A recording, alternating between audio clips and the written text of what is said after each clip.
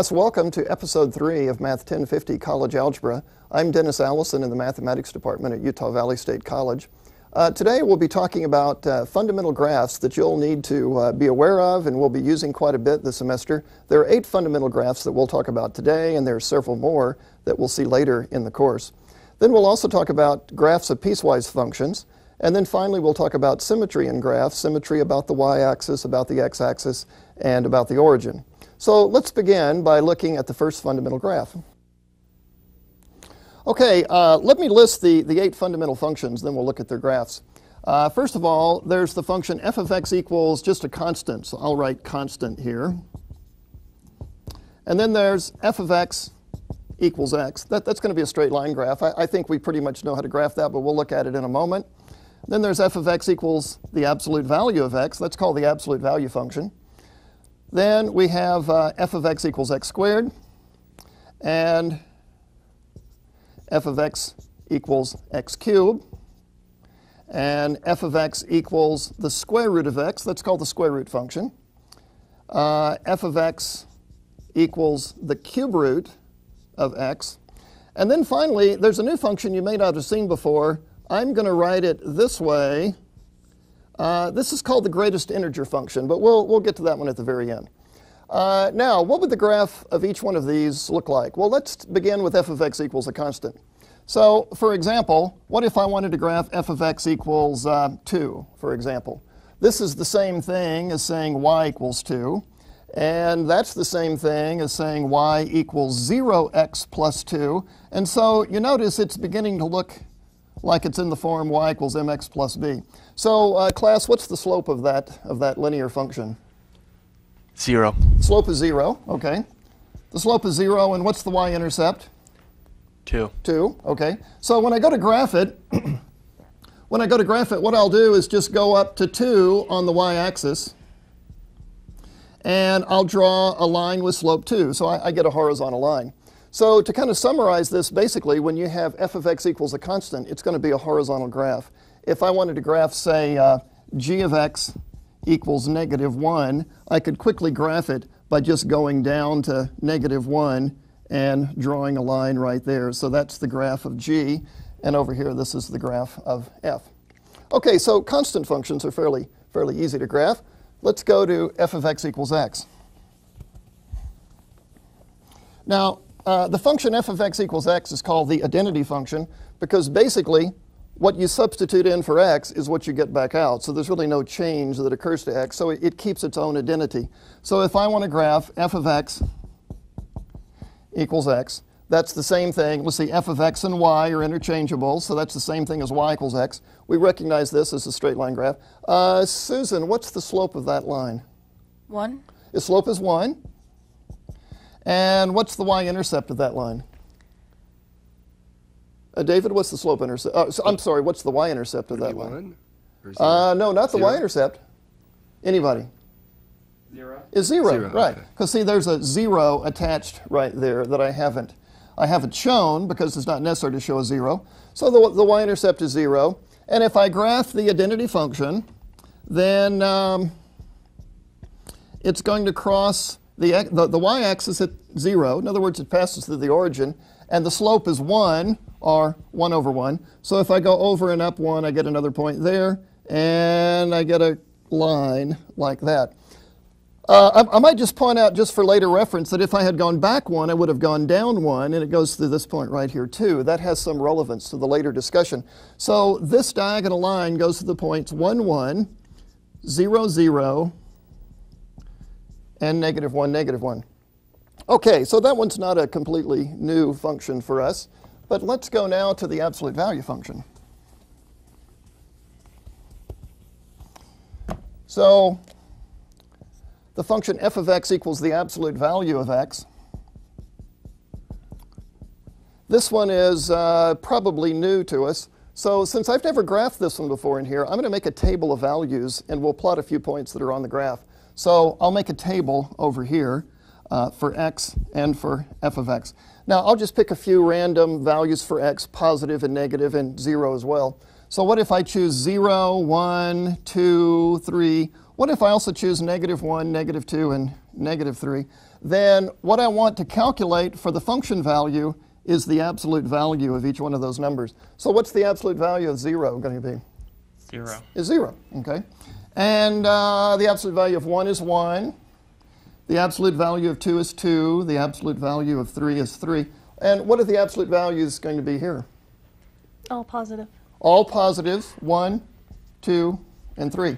So if I think of these as ordered pairs, 0, 0, 1, 1, 2, 2, 3, 3, negative 1, 1, negative 2, 2, negative 3, 3. Uh, when I go to draw the graph, I'll just plot those points to get an indication of what the graph looks like. And uh, let's see, I'll locate uh, 0, 0 is right here. I'll locate 1, 1 right there. I'll locate 2, 2 right here. 3, 3. Okay, I hope those are lined up. And uh, for the negative values, there's negative 1, 1. There's negative 2, 2. There's negative 3, 3. Well, you see, the points over here look like they're lined up. The points over here look like they're lined up. And as a matter of fact, if you plot more points in there, you'll verify that this graph has a V shape.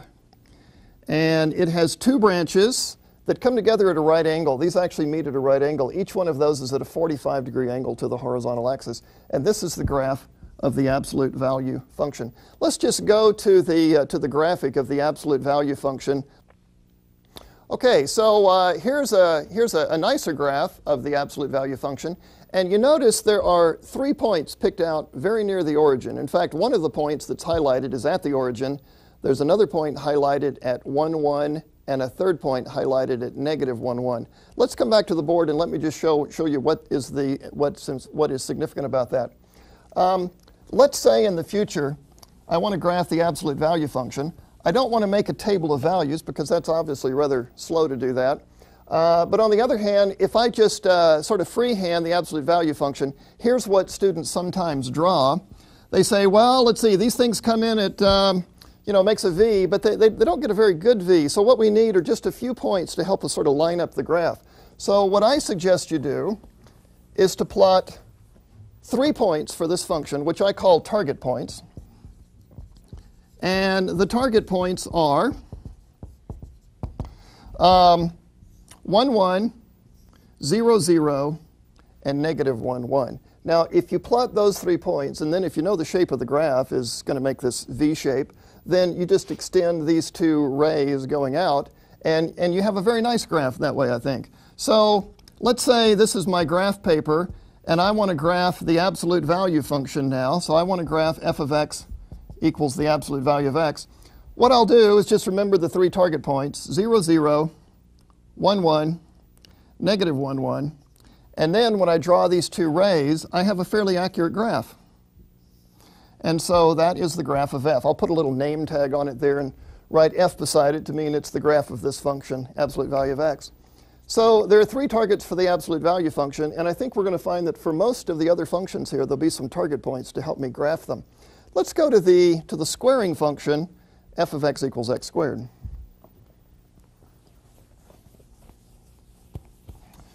Now, once again, I haven't graphed the, the squaring function in this course. You may have seen it in a previous course, but perhaps not. So because it's a new graph for us, I'll make a table of values and I'll plot some points. But then I'm going to reduce it to three target points. And in the future, I'll just quickly plot three target points and I'll draw the graph. So the function is f of x equals x squared. And uh, the table that I'll make looks like this. I'll choose some values for x, like uh, once again, why don't we choose 0, 1, 2, 3. You could choose more values if you want. In fact, you could choose fractions and decimals if, if you care to. Uh, negative 1, negative 2, negative 3. Uh, now, I need to know the function value for each one of these. Uh, Jenny, can you tell us what these function values will be? It'll be 0, 0, 1, 1, 4, 4, 9, right, 1, 4, and 9. and 9 again. And once again, I'll think of each of those as ordered pairs. For example, here's the origin. Uh, let's take this one down here. Here's the point, 3, 9. So we have seven ordered pairs that we'll plot. And if you really want more accuracy, you could plot more points. You could, you could say uh, x is a half, x is 3 halves. But I think this will be enough to get the idea of the general shape. So when I go to graph this, I'll, uh, let me make my scale a little bit smaller now so that I can squeeze these points in. Well, there's 7 right there, and then negative values down below. So we'll plot 0, 0. We'll plot 1, 1. We'll plot 2, 4. There's 4. Uh, no, that's actually 3, so let's go up a little bit higher. There's 4. And there's 3, 9. Well, 3, 9, let's just say it's going to be up about there. Uh, and on the other side, at negative 1, 1, at negative 2, 4, and at negative 3, 9, right about there, I think. So this time, it doesn't look like these branches are coming off straight, but they're actually curved this time. And when I draw the graph, I'm going to draw it so it just comes down, it goes tangent to the x-axis, and then it turns back up. Now, what, what's significant about that is this is, a, this is a, what you call a smooth curve. It's not pointed like the absolute value function. The absolute value function, you could run your finger along that edge down there. You could actually hurt yourself. This should only be done by someone who's, who's really a, a, a pro at this, you see. So this is actually a smooth curve, and uh, so you don't want to make it jagged right there, but it, but it turns. And there's a name for this particular shape, by the way. What is it called? Parabola? Parabola, yeah. This particular shape is known as a parabola. It's very useful in science courses uh, and in, in, various applications of mathematics. And uh, for example, one place that you've seen a parabola is if you throw an object into the air, like if I throw this marker over to you, it follows more or less a parabolic arch as it comes down to you. It's not quite parabolic because there's air resistance, and uh, if, I don't, uh, if we don't take the curvature of the Earth into effect, I mean, obviously this isn't very far away, but if you shoot a rocket, like if you shoot a rocket across an ocean or something, then you take into account the curvature of the Earth in that case. But if, if you assume the Earth is flat, if you assume there's no air resistance, then generally this would be a, be a, uh, parabolic arch, this, this flying projectile. Uh, let's see. Well, I don't want to make a table of values again for this ever again, if I can help it. I'd like to to speed this up. So the target points I'll choose will be 1, 1, 0, 0, and negative 1, 1. And in the future, when I want to graph the squaring function, when I graph the squaring function, here's what I'll do. I'm going to locate the points 1, 1, 0, 0, and negative 1, 1. So the graph could be drawn more quickly like this 0, 0, 1, 1, negative 1, 1. Now, you might say, wait a minute, those were the same target points as the absolute value function. How are we going to know the difference? Well, you have to remember the general shape. And I know that the squaring function is a parabola. So when I draw it, I come down, go through this point, turn, go back up like that. And that's a rough sketch of the graph. Now, you might say, well, Dennis, that's not maybe as accurate as you would like. Well, of course, you get more accuracy if you plot more points. And so, what we're sacrificing is accuracy for speed. So, I want to be able to quickly sketch the curve. I don't care that it's perfectly accurate. I mean, I'm never going to draw it perfectly accurate. Over here, it wasn't very accurate, and I plotted seven points. Uh, but what I got was speed, so I can quickly sketch it, and then I can move on to whatever application I have for this. Okay. Uh, now, I'm not going to make a table for every one of these because I think you probably see how this procedure goes. Let me just show you what the other uh, functions look like. Uh, by the way, we also have a graphic of the squaring function. Maybe we should show that one. There we go. Uh, you see, there's the parabola uh, graph for f of x equals x squared, and there are three points highlighted near the x-axis at 1, 1, 0, 0, and negative 1, 1. Okay, next function is the cubing function. Now, all of these functions are so basic in college algebra that we would just want to know their graphs. Sort of like if you're taking an arithmetic course, you just need to know that 2 plus 2 is 4. You need to know that 12 divided by 4 is 3. You know, those are sort of basic arithmetic principles. Well, in college algebra, there are basic graphs, and these are the ones that come up most often. So we want to know how to represent them graphically, and we want to be able to sketch them quickly, but rather relatively accurately. Um, let's see, this time, let's go straight to the target points for the cubing function. Now, as you might guess, the three target points are going to be the points associated with 0, 1, and negative 1. If I plug in a 0, I get 0 for the function value. So this function goes through the origin. And if I plug in 1, what do I get? We get 1 back again. So we get plus 1, so the point is 1, 1. Now, if I substitute in negative 1, what do I get? Negative 1. We get negative 1 back. So there's a change here in that we don't get this triangle of uh, target points, but they seem to line up. So what does the cubing function look like? Well, if I made a table and if I plotted 7, 10, a dozen points, I would find that it comes down sort of like a parabola, only steeper, and it gets flat, flattens out at the origin, but instead of turning up, it turns down. And back in the old days, the old days meaning back in the 17th, 18th century, these sort of curves were called higher parabolas because it, it looks sort of like a parabola coming down, but it's not really. It's steeper than a parabola, it's a little bit flatter than a parabola. Um, but uh, these days, we don't, we don't generally call them higher parabolas, it's just the cubic function.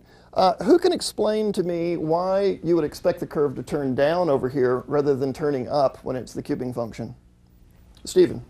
negative values plugged into the equation are still negative once they come out. Exactly. When when you pick an x that's negative and you cube it, you're going to get a negative y. So you're going to get two negative coordinates. So you're in the third quadrant rather than in the second quadrant.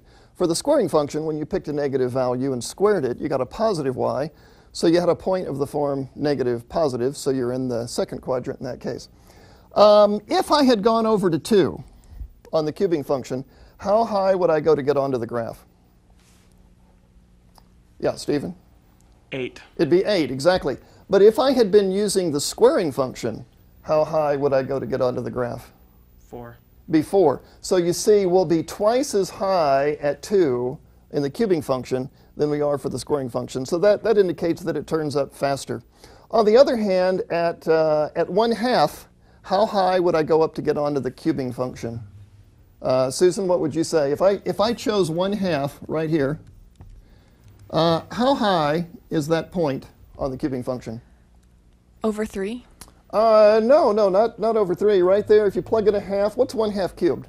1 eighth. is 1 eighth. So, so you only go up 1 eighth right there, whereas if it were the squaring function, I would go up 1 fourth. So 1 eighth is below. So you see what happens is the cubing function ends up ending, being below the squaring function when you're near the origin. Uh, let's look at two graphs that we have on graphics. First of all, we have the cubing function, I believe, on a graphic. There it is. Uh, you see it goes up rather dramatically on each end. Uh, it goes to the origin, and it goes to the points 1, 1, and negative 1, negative 1. Now, the next graphic has a comparison of the squaring function and the cubing function. You see, there's the squaring function in black. It doesn't go up nearly as fast. Then the cubic function is dotted. It goes up faster. And if, if we could zoom in, I don't think we can, but if we were to zoom in, we would see that the dotted graph is actually closer to the x-axis than the squaring function between negative 1 and 1. It actually flattens out a little bit more than the squaring function does. Okay, let me just summarize the graphs that we've, that we've seen so far, and then we'll go to the last three over here. So just as a point of summary at this moment, we have uh, f of x equals a constant, and generally, that graph will be a horizontal line crossing the y-axis at whatever that constant is, if it looks like I've indicated a positive constant here. Then we have f of x equals x, the identity function, and its graph is a diagonal line, 45 degree line through the origin. And you remember there were three points that I highlighted and I said this is going to be relevant later? The three points I highlighted were 1, 1, 0, 0, and negative 1, negative 1. I was doing that because these become target points for other graphs. Now, if you think of f of x equals x as being so basic, you don't need to plot three target points. You can just sketch it. That's fine with me. But uh, if we look at it from the target point of view, the target point point of view, um, the graph would look like that. So that's the graph of the, um, of the identity function. Then we went to the absolute value function, and um, it had three target points. And let's see, who can, who can remind me, what were the target points for that one? Jenny? 1, 1, 1, 1, yeah. and 0, 0, 0, 0. negative 1, 1. Negative 1, 1, very good.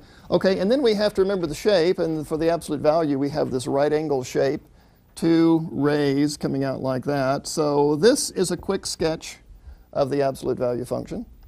Um, then uh, we had two more functions so far. We had the squaring function, and uh, it has the same target points as the absolute value. 1, 1, 0, 0, negative 1, 1. But it's a different shape, so we have to remember the shape is a parabola that comes down, goes to the origin, and looks, looks like that. Hopefully it looks better than that. But you remember we've sacrificed accuracy for speed, so, uh, so we're, we're doing this faster now. And uh, the last function that we've considered thus far is the cubing function. And it has target points at 1, 1, 0, 0, negative 1, negative 1. You notice those are exactly like the target points over here for x. Uh, and in fact, the, the reason is, you notice this is x to the first power, and this is x to the third power. All of the odd power, uh, all, the odd powers of x will have these three target points. The higher the power, the steeper it comes down, the flatter it is in the middle, and the steeper it goes down again. Uh, but this is the cubic, so the cubic is going to look like, generally like that. And you might say, well, now, Dennis, uh, how do we know if we're drawing it steeper there than it is here? Because you said the cubic was steeper than the quadratic. Well, it's all relative. I wouldn't be grading you on just how steep you make it, but I just want you to know that as the power gets bigger, the function gets, gets steeper as, as you go over there. But it's sort of hard to, to actually make variations in that steepness. Okay, three other fundamental functions. We have the square root function next. As you might guess, there are going to be target points that we'll come up with for sketching that. But one of the differences is the square root function only has two target points. Um, let's see, if I graph f of x equals the square root of x. Now, let's see, once again, I'm going to make a table since I haven't officially graphed this one in this course before. Uh, I have to be careful about which x's I choose. Uh, what's the restriction on x here? All the x's have to be greater than 0. Uh, do they have to be greater than zero? What Or about 0 actually- or 0 zero or greater? yeah. Exactly. So we can choose zero. We just can't pick a negative number. And you might say, but I thought the square root of a negative number was an imaginary number. Well, that's true, but see, my on my coordinate uh, uh, on, on these axes, I have a real number x-axis and a real number y-axis. So we're not graphing any imaginary numbers. So we'll restrict ourselves to non-negative real numbers. Let's say I chose 0, 1, 2, 3, and 4 this time. Uh, let's see, the square root of 0 is 0. The square root of 1 is 1. The square root of 2, well, you know, actually, the square root of 2, if on a calculator, it's about 1.4, more or less. Not exactly 1.4. And the square root of 3 is approximately, does anybody know the square root of 3 right offhand? It's about 1.7. And the square root of 4, does anybody know the square root of 4 right offhand? 2. Two. Thank you very much. Okay, it's two. Very good. And we could just keep on going down the line, but I think this is enough, these are enough points to plot to get an idea. Um, so x-axis, y-axis, one, two, three, four. Okay, so that's that's as far as we got in our in our table. One, two. Let's say there's three. So the points I'll plot will be 0, 0, 1, 1, uh, 2, 1.4, I'll just have to take a wild guess at that one. 3, 1.7, 4, 2. 4, 2. Well, those obviously don't line up, but then, you know, this isn't a linear function. You can't write this in the form y equals mx plus b. But uh, actually, what it is, it's half of a parabola coming in sideways. And if I could complete the parabola, it would go out underneath. But you see, these function values can never be negative. We're taking the principal square root of x, so I'll never get a negative y. So it's the upper half of, of, of a, of a sideways parabola. In fact, this parabola would be identical to the parabola for f of x equals x squared, except it's going out the x-axis instead of up the y-axis. Well, if you were going to pick target points, so you, you kind of get how this is working, uh, which target points would you pick? David, what would you choose for target points? Um, zero zero. Zero, zero, okay, Then um, one one. and one, one. And those are the only two we'll pick because we don't have a function value at negative one, so, so we're, we, have this, we have this down to two target points. And in the future, when I want to graph this function, the square root function, and we'll have lots of opportunities where we'll want to graph this in this course. Uh, if I want to graph f of x equals the square root of x, then I'll remember the two target points. Uh, 0, 0, and 1, 1. But then I have to remember the shape. I have to remember it's, a, it's half of a parabola, and it opens out to the right-hand side, so I'll draw it like this. Now, one thing you have to be careful of, when you come into the origin, you want to turn you want to turn this down so it goes vertically. So at the moment you reach the origin, you're going vertical at that moment. Uh, sometimes students draw the graph like this, where it sort of comes in about a 45 degree angle, but, but you remember that, that, that this turn on the parabola is always smooth, so you don't want to make it look like it could be, could be jagged. I've perhaps over, overemphasized that in my graph here, but this is the graph of the square root function. One of the things we might point out while we have this graph up here is if you want to find the domain of a function, like take the domain of this function right here, if you imagine just pressing it down onto the x-axis, look at all the x's that are covered, and those are the x's that were used, and so that's the domain. If I press this graph onto the x-axis, it looks like it's going to cover everything from 0 on out. So the domain of the square root function would be the closed interval 0 to infinity because I can plug in 0 or any number larger. And I can see that in the graph by just pressing it onto the x-axis. I can also get the range by looking at the graph. But the difference now is I press it onto the y-axis, and that tells me all the y-coordinates that were used. So if I were to press this onto the y-axis, what would be covered on the y-axis? Zero to infinity. 0 to infinity again. But we're talking about these values for y. That's the range. So we have the same set for the domain and range, but they actually come from different axes. So every graph, or the, every graph for every function, you can find the domain by pressing it onto the x-axis to get the domain and pressing it on the y-axis to get the range. I'll do another example of that with a function that's uh, uh, maybe not one of these listed here in a moment. But let's finish our list of fundamental graphs. Next function is the cube root function. So uh, we want to graph f of x equals the cube root of x.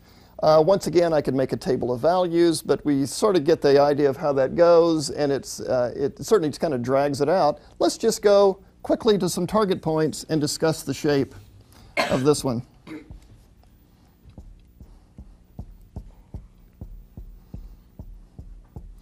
Well, uh, let's see. This time, am I allowed to use negative numbers under the cube root sign? Can you take a cube root of a negative number? Yes. Yes. Yeah, sure. Like, what's the cube root of negative 8? Negative 2. Is negative 2, sure. So uh, it looks like this function is going to have a domain that's the entire x-axis because I can pick negative and positive and 0 values for x. Uh, if I substitute in a 1 for x, what would be f of 1? The cube root of 1. What's the cube root of 1? One. One. is 1. Okay. So that says I have the ordered pair 1, 1. Uh, if I plug in a 0 for x, the cube root of 0 is 0. And if I plug in a negative 1 for x, the cube root of negative 1 is what? Negative one. Negative 1. Okay. And we've seen those three target points before. We saw it. We saw those for f of x equals x. We saw those for f of x equals x cubed. And now we see them for f of x equals the cube root of x. And uh, what happens here, if you were to plot more points, you would find that this function comes in sideways, sort of like the square root function, but it's only more dramatic. It's, it's, it's not quite so steep out here, and it turns more abruptly right there, and then it turns and goes out in the third quadrant in a similar, in a, in a, in a, in a similar manner. So that's the graph of the, of the cube root function.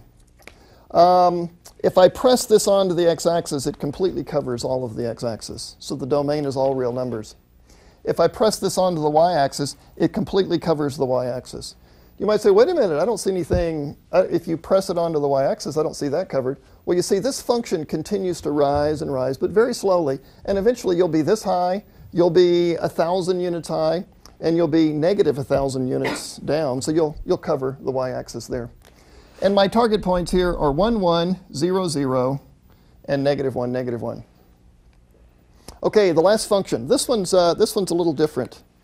Um, you notice even the, the, the symbols that I'm using there are a little different.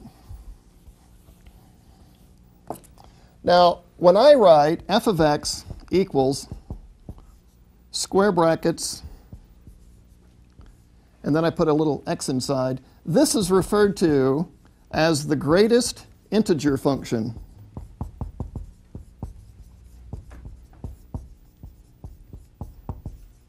Now, what this notation means is if I take this function and insert a number, for example, if I plug in the number 4.3, then the function value is the greatest integer that does not exceed 4.3. Uh, now, for example, uh, 5 exceeds 4.3, but 4 does not. 4 is the biggest integer that does not exceed 4.3, so this answer is 4. So my answer is always an integer, and it's the greatest integer that doesn't exceed 4.3. What would be the greatest integer value for 1.9? 1. It'd be 1, yeah. It's almost 2. It's almost 2. But if we say the answer is 2, then we'd have an integer that exceeds 1.9. So, so 1's the best I can do. What if I were to put this? Here's kind of a tricky one. What if I put negative 1.9? What's the greatest integer value of that? Negative 1? Negative 2. Well, let's see now. Actually, negative 1's bigger than negative 1.9, isn't it?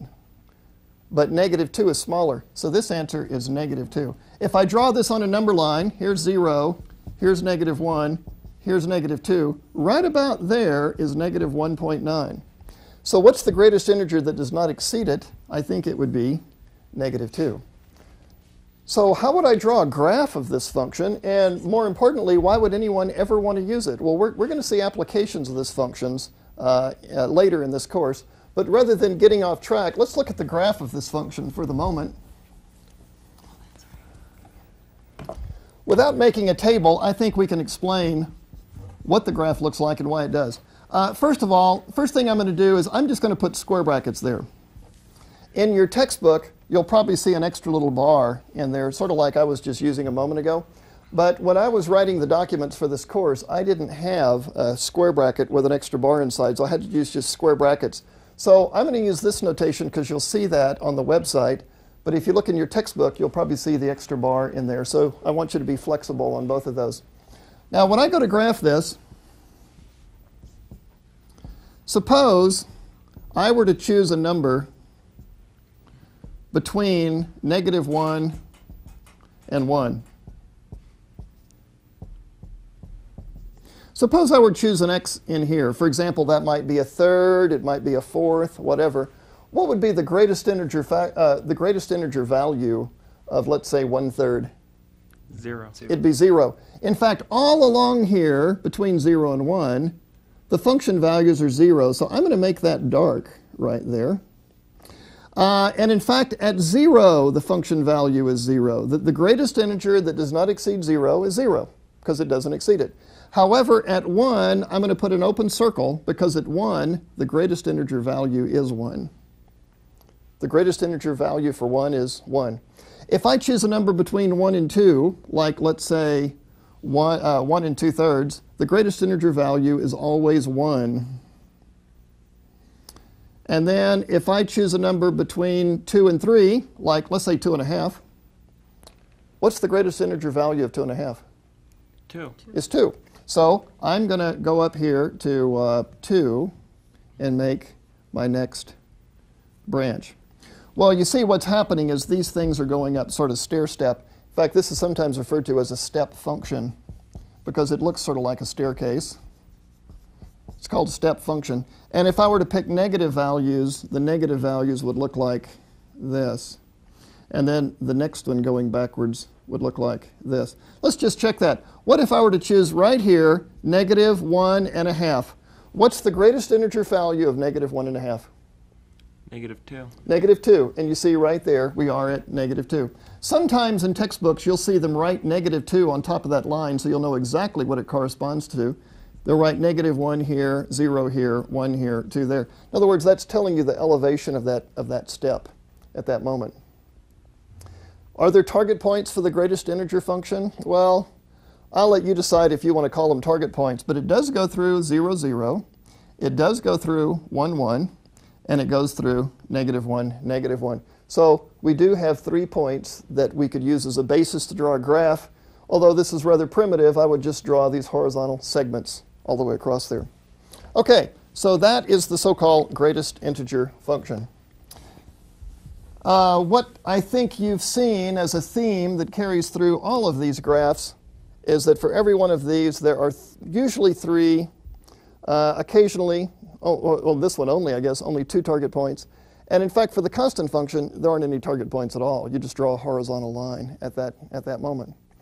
Now, how would, I, how would I use these fundamental graphs in mathematics? Well, let me give you an example. Suppose I wanted to solve this equation, x squared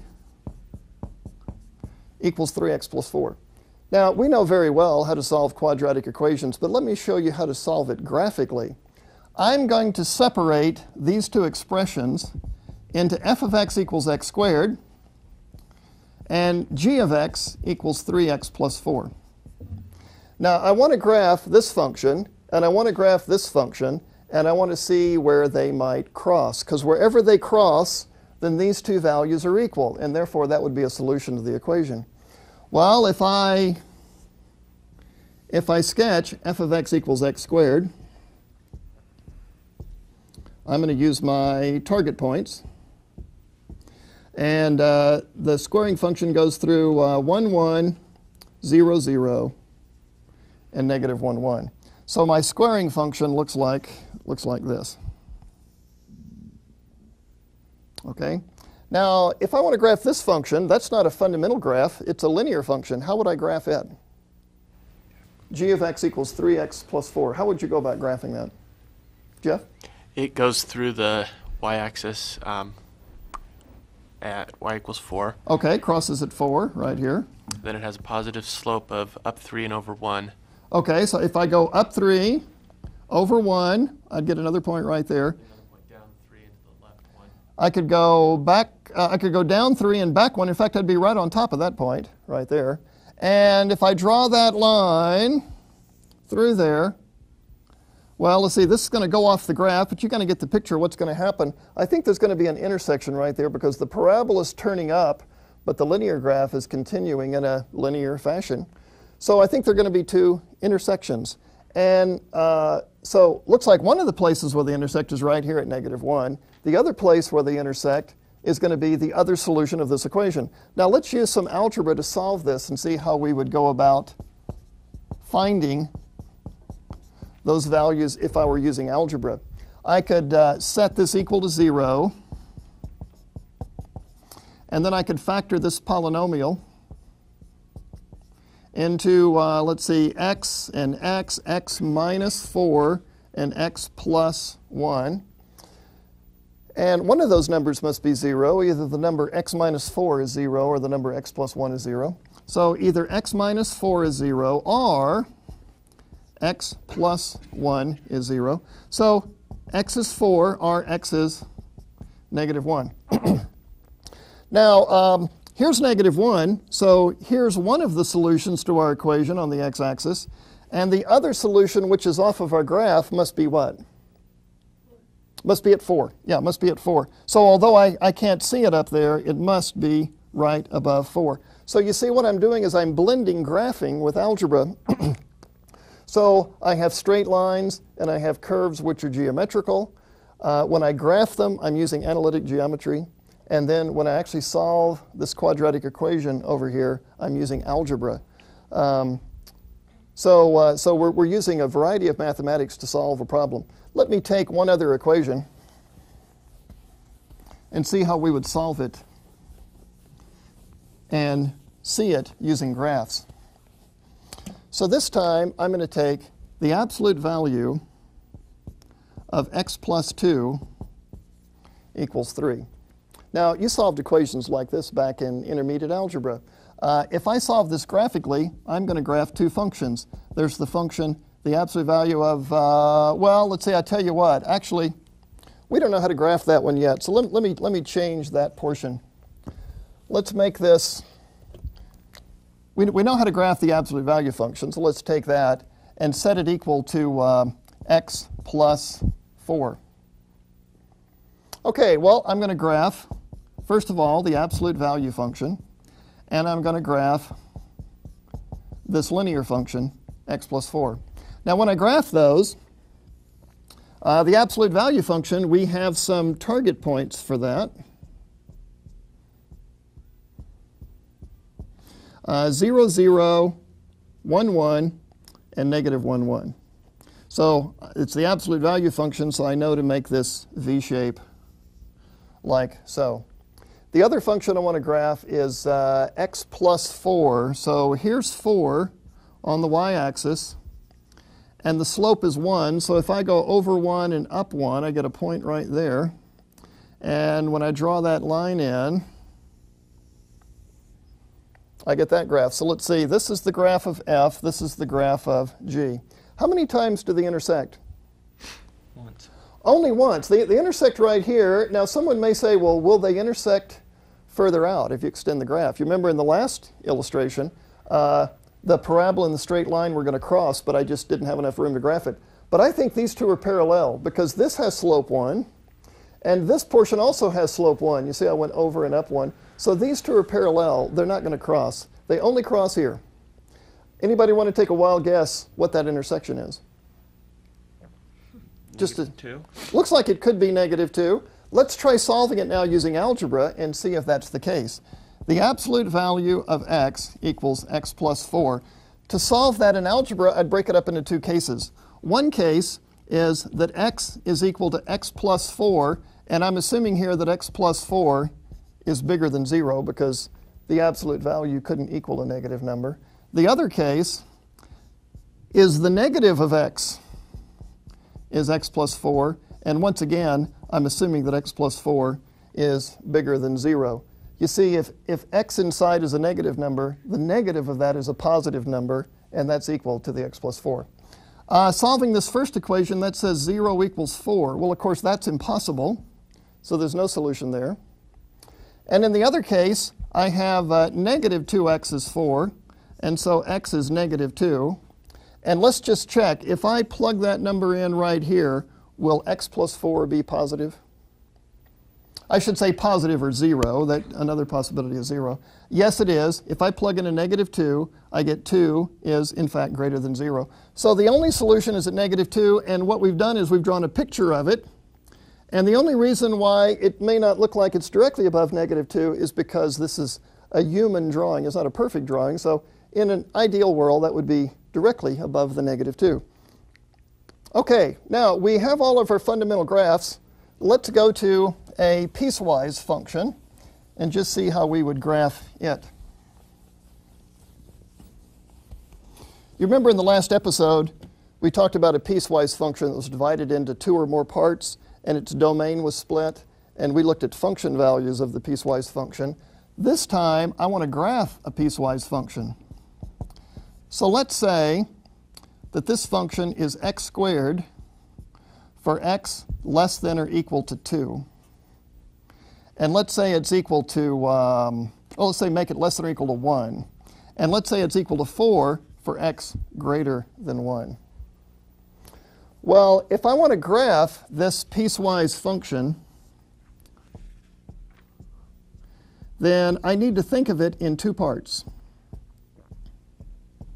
Uh, here's one, and basically I need to draw a graph to the left of one, and I need to draw a graph to the right of 1.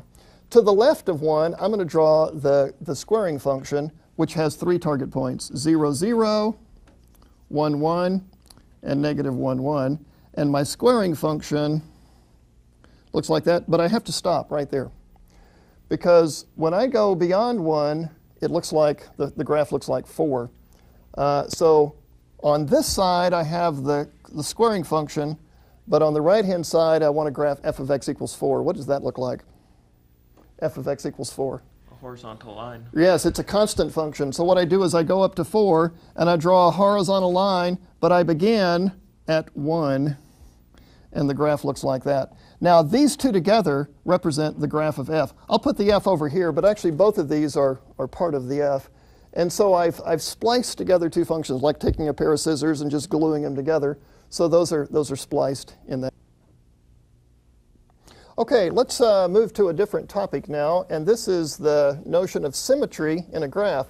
Now, not all graphs have symmetry, but when they do, it becomes a very useful idea. And there are three types of symmetry that you can see in a, in a graph, uh, at least three types that will be of interest to us. The first of all is uh, consider symmetry about the y-axis. Now, let me give you an example. Suppose I showed only half of a graph, and let's say the graph looked like this. Uh, it looks like this is a function so far because it passes the vertical line test, so I'm going to call this uh, function f. Now, if this graph is, has symmetry about the y-axis, then if you take it and if you flip it over the y-axis, you see a mirror image of that graph on the other side. So the mirror image would look like this, I suppose. And so now this graph does have symmetry about the y-axis. Now, if I had drawn something completely different on the other side, there'd be, there'd be no symmetry at all. Um, now, a function that is symmetric about the y-axis is called an even function. So f is an even function. And uh, I'll explain why in just a moment, but uh, so far we have an even function. And I want to point out a, a notion to you about this graph. I'll, I'll, make this just a little bit lower here. Um, if I were to move over here, let's say a distance x, and if I were go if I were to go the same distance the other direction, I would be at negative x. So this distance equals that distance. I just went in different different directions. And if I go up onto the graph right here, I get a point.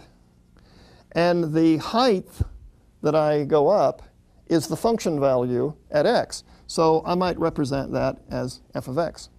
On the other side, at negative x, I would go up onto the graph. And the height there would be f of negative x, because it's negative x that I'm substituting in. Well, you see, if this is perfectly symmetrical, then the height over here should be the same as the height over there. And so f of negative x is equal to f of x. And this is the ultimate test, maybe I should say the algebraic test, for determining if a function is even, that is, if its, if its graph will be symmetric about the y-axis, is does f of negative x, is it the same thing as f of x?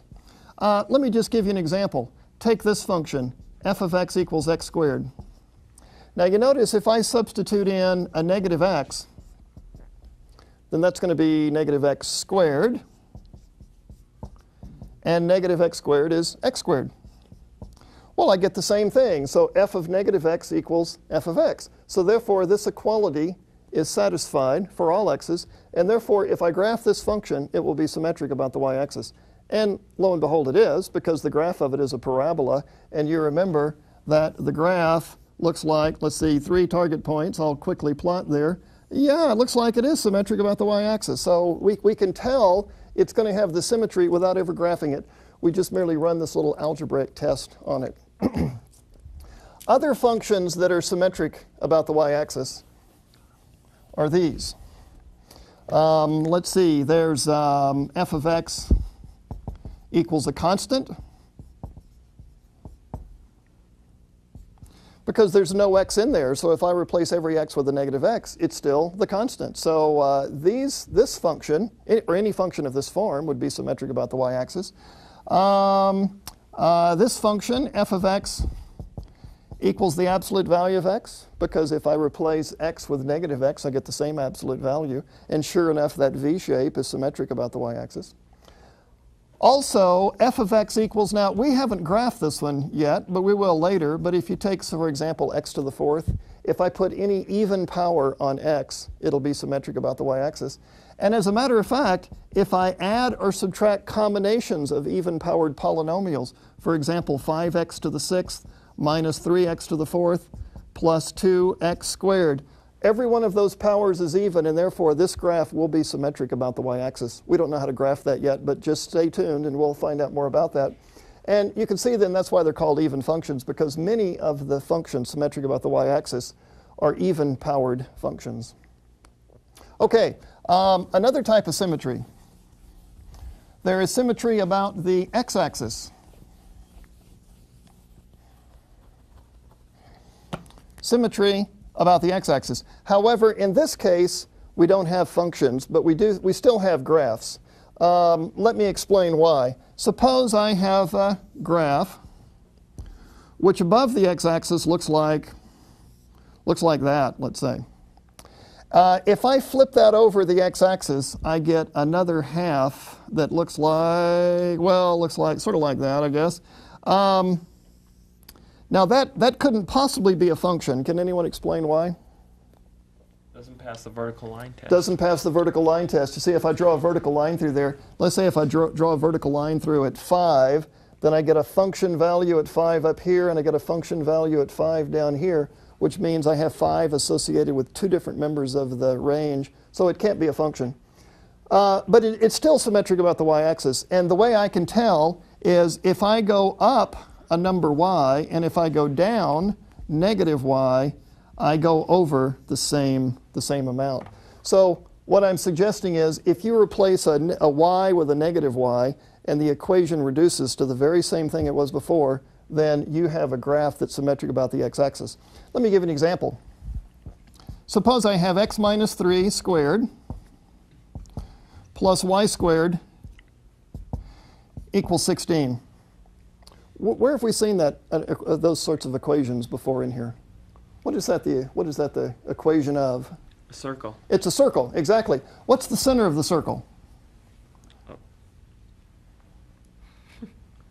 Well, I think it's zero? 3, 0, exactly. 3, 0, and what's the radius of the circle? Four. 4, right, yeah. So you're, you're not exactly thinking about circles right now because we've been doing all these other things. But this is a circle, and if I graph it, I would go over to 3, and I would draw a circle whose radius is 4. Now, it looks to me like that circle is symmetric about the x-axis. It's not a function, but it's symmetric about the x-axis. And if I replace y with negative y, I get the very same equation. So I can tell by looking at this that it's going to be symmetric about the x-axis because if I replace y with negative y, I get, I get the same result. Okay, one more type of symmetry. And this is symmetry about the origin.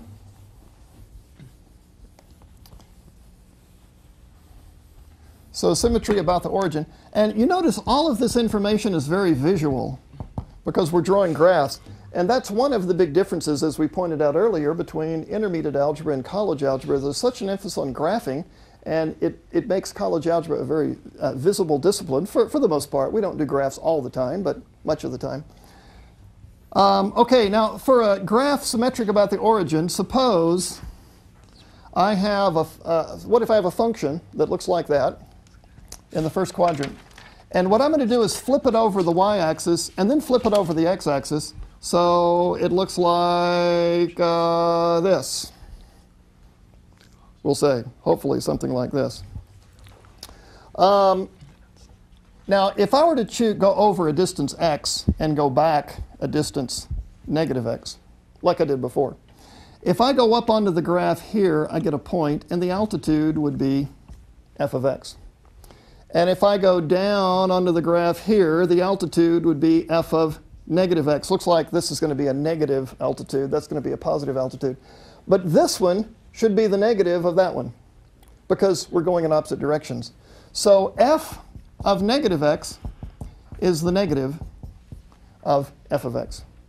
Now you might say, oh, I, I see, Dennis, what you did is you factored out the negative 1. Now, the, it, it's not that the negative 1 factored out. We're talking about two different numbers. We have a negative x and we have a positive x. But if you throw away the negative inside, you have to replace it with a negative on the outside. These sorts of functions are called odd functions. f is an odd function. And that's because typically x raised to an odd power will give you uh, a graph symmetric about the origin. Uh, for example, f of x equals x cubed has that property, symmetry about the origin. f of x equals x has that property. And there will be other functions that we come across. Uh, also, I'll, I'll call this one g just for a change. If you take a combination of odd functions, you still get an odd function. Like if I take 10x cubed minus 11x, uh, that's still an odd function. It's going to be kind of curvy on one side, and it'll be the, the, the reverse curve on the other side, flipped over the y-axis, flipped over the x-axis. And you might say, well, I don't see why it's called symmetry about the origin. Well, if I go from this point directly through the origin, the same distance, I arrive at the other point, uh, the one at negative x. So the, these points are always opposite each other through the origin. You could, you could see one another across the origin. Okay, well, let's kind of summarize what we've done today. We've talked about uh, eight fundamental graphs the constant function, f of x equals x. And then we moved on to some more elaborate things like the square root function, the cube root function, and even the greatest integer function. And those functions had target points. Uh, well, all of them except the constant function had target points, uh, either three or two target points. What you'll want to know is each one of those fundamental graphs and know how to plot those target points for each one of them. Uh, then we talked about how you could solve equations graphically. And finally, we summed it up by looking at symmetry, Uh, three types of symmetry. We'll see you next time.